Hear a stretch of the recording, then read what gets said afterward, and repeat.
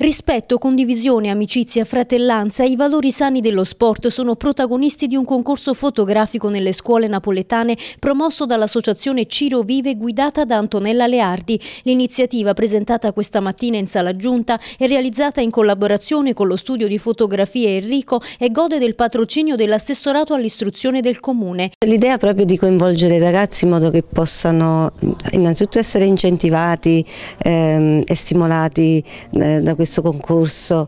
ehm, renderli partecipi proprio per, um, affinché possano comprendere che comunque nello sport ci devono essere cose positive, quindi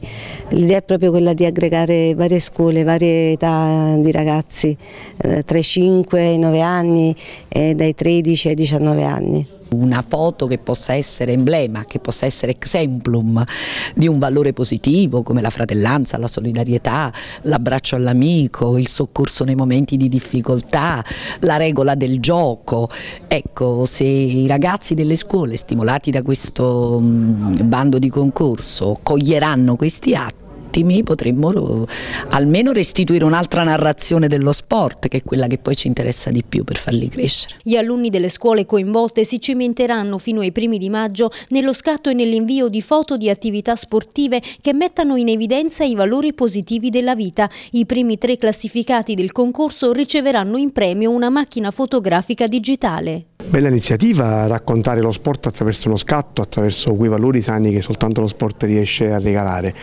Insomma, farlo con l'associazione Ciro Vive che insomma, rappresenta qualcosa di straordinario per la città, su un dramma che abbiamo vissuto tutti quanti insieme, ancora più, o, o, dà ancora più significato a questa iniziativa. Lo facciamo insieme con l'assessorato all'educazione, diventa un bel momento per stare insieme scuola, sport, ma soprattutto questi scatti che ci regalano sicuramente immagini di una città che noi vogliamo sempre più diversa.